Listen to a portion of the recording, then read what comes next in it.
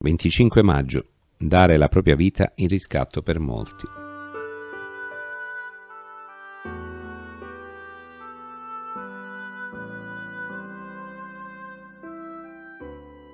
Gli apostoli hanno lasciato tutto ciò che è fuori di essi. Casa, reti, barche, campi, moglie, figli, padri, madri, sorelle, fratelli, amicizie, compagnie.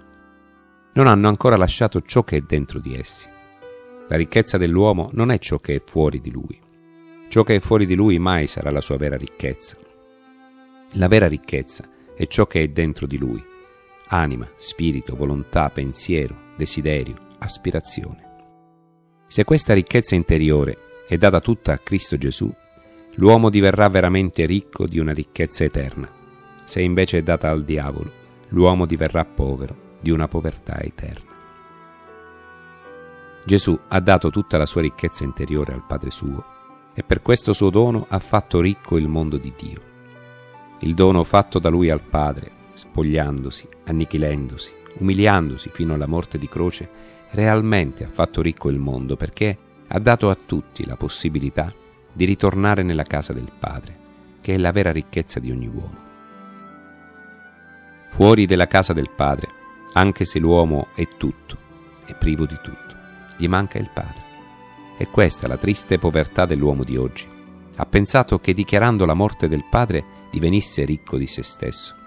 Invece è divenuto uno schiavo del diavolo e della sua miseria e povertà morale, spirituale ed anche fisica. E come siete ricchi in ogni cosa, nella fede, nella parola, nella conoscenza, in ogni zelo e nella carità che vi abbiamo insegnato, così siate larghi anche in quest'opera generosa. Non dico questo per darvi un comando, ma solo per mettere alla prova la sincerità del vostro amore, con la premura verso gli altri. Conoscete infatti la grazia del Signore nostro Gesù Cristo.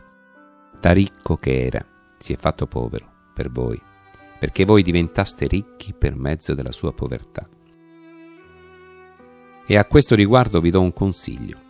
Si tratta di una cosa vantaggiosa per voi, che fin dallo scorso anno siete stati i primi non solo a intraprenderla, ma anche a volerla.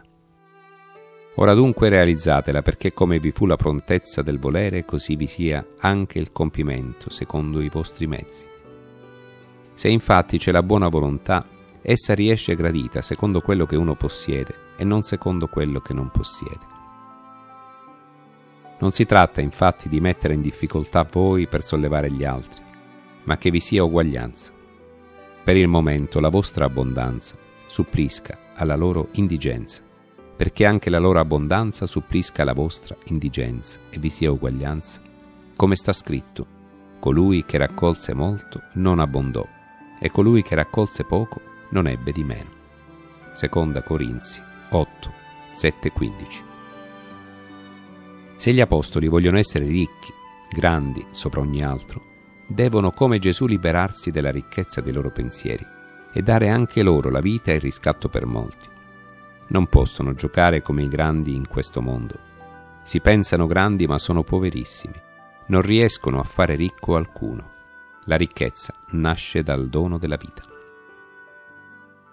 Mentre erano sulla strada per salire a Gerusalemme, Gesù camminava davanti a loro ed essi erano sgomenti.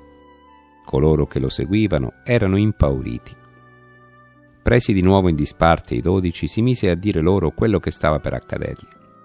Ecco, noi saliamo a Gerusalemme e il figlio dell'uomo sarà consegnato ai capi dei sacerdoti e agli scribi. Lo condanneranno a morte e lo consegneranno ai pagani.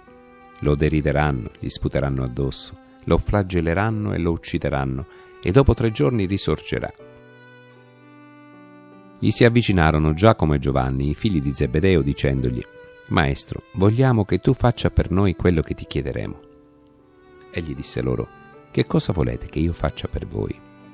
Gli risposero, Concedici di sedere nella tua gloria, uno alla tua destra e uno alla tua sinistra.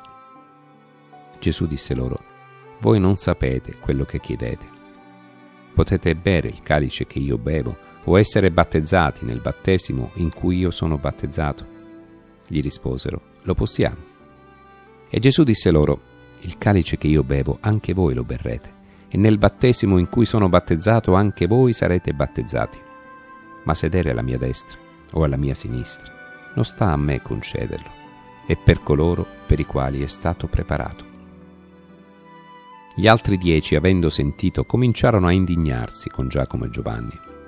Allora Gesù li chiamò a sé e disse loro, Voi sapete che coloro i quali sono considerati i governanti delle nazioni dominano su di esse e i loro capi le opprimono.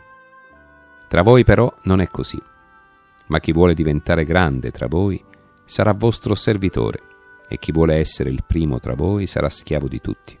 Anche il figlio dell'uomo infatti non è venuto per farsi servire, ma per servire e dare la propria vita in riscatto per molti. La logica di Gesù Cristo e quella del mondo sono diametralmente opposte. Gesù dona. Vergine Maria, Madre della Redenzione, angeli santi, fateci dono di vita per molti.